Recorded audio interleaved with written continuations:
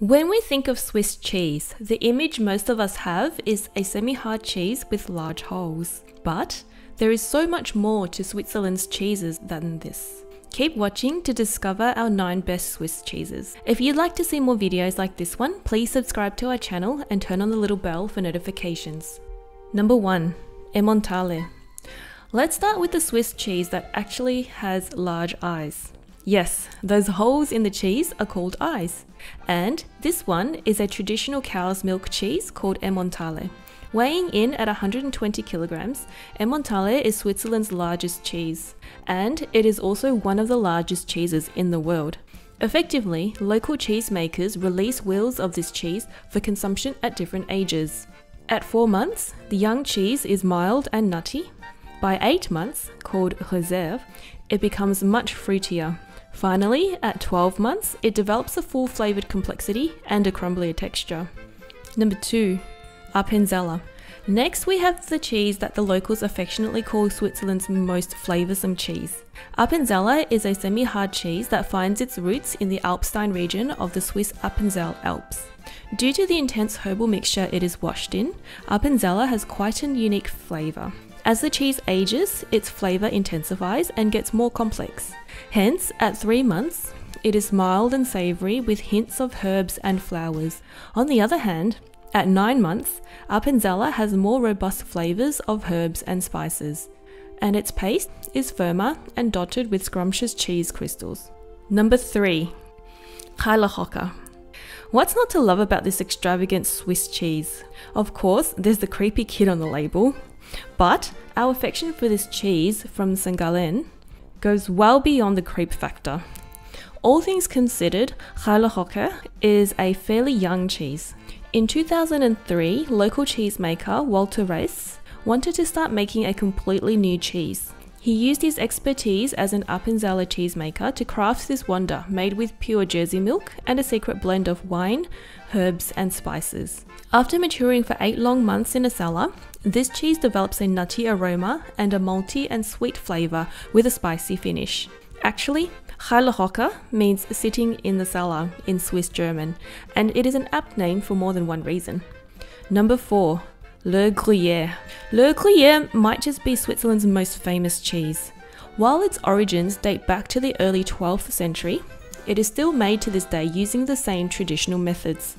Moreover, only a select number of artisanal cheesemakers in a handful of cantons in Switzerland are allowed to produce Gruyere, and they always use the finest local raw, unpasteurized cow's milk.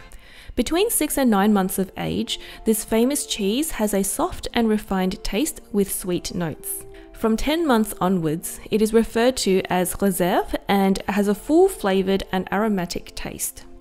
Some wills will be matured up to 18 or even 24 months for even more robust flavours. Number 5. Vacherin Fribourgeois. At number 5, we've got one of the most criminally underrated melting cheeses in the world. Vacherin Fribourgeois is a Swiss semi-soft cheese made with raw cow's milk in the cantons of Vaud and Fribourg.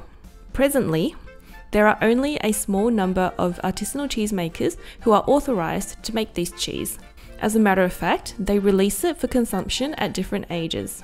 You can enjoy the classic Vacherin Fribourgeois at 6 to 12 weeks and the rustic at 12 to 25 weeks. Overall, this cheese is an excellent table cheese with its flavour ranging from buttery to nutty. However, it truly comes into its own when melted in a fondue. Actually, it is a traditional ingredient in fondue moitié-moitié. This classic Swiss recipe consists of half Gruyere and half Vacherin Fribourgeois. Number 6. Tête de Moine. It's party time!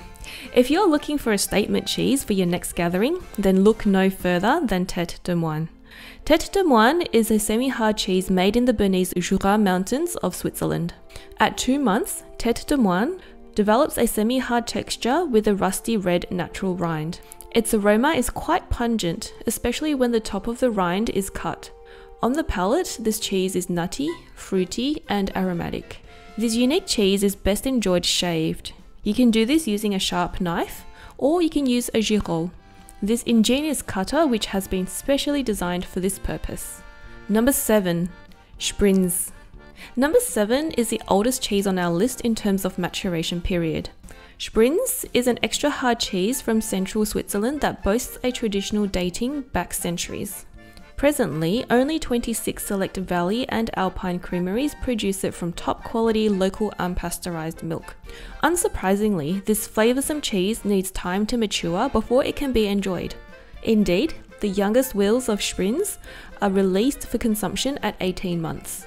The longer the cheese is matured, the more aromatic and spicy it tastes. At 18 months, you can slice Sbrinz or shave it into rolls. However, it is only from 24 months onwards that Sbrinz develops its full flavour. The locals love to serve it as an aperitif or broken up into pieces, Möckli, on a cheese board. Number 8. L'Etivaz. L'Etivaz is a seasonal hard cheese made using only unpasteurised cow's milk. Currently, just over 100 alpine creameries in the Vaud Alps make this celebrated cheese from the months of May to October. To this day, they process the raw milk on site and use an open fire. In many ways, L'Etivaz is made as Gruyere was 100 years ago. Local farmers make this cheese only when the cows are doing their summer grazing in alpine pastures. Moreover, they still use traditional copper cauldrons over open wood fires. L'Etivaz has a semi-hard texture with a fruity, slightly nutty flavour.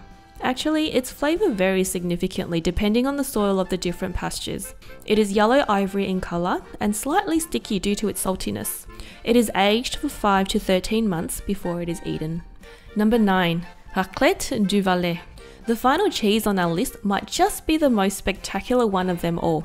Raclette du Valais AOP is a semi-hard, full-fat, unpasteurized cheese. It is creamy and aromatic with a hearty taste.